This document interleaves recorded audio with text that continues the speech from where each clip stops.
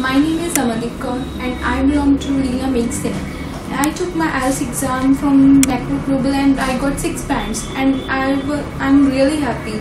But then I applied for my visa from Pyramid Services from London, but my visa was refused. I was very sad. Then my friend recommended me to go to visit to Macro Global, and I I go there and there I met the counselor. The name is Sapna, and uh, she gave me advice that. Uh, I applied for Australia and my case is uh, go my case will go positive so then I talked with my parents and uh, they suggest me that you should uh, proceed your case with them finally I got my visa and their services are really good. I, when I visit to the Moga office their main branch is in Moga I met Nupinder ma'am. Their her nature is very good and very sweet.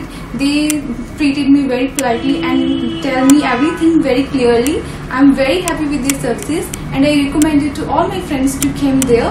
And they when my visa really com comes in within few days and today i'm very happy i'm with my visa now i will go for australia for my further studies and i recommend it to everyone please come there and visit there and take their advice. Thank you so much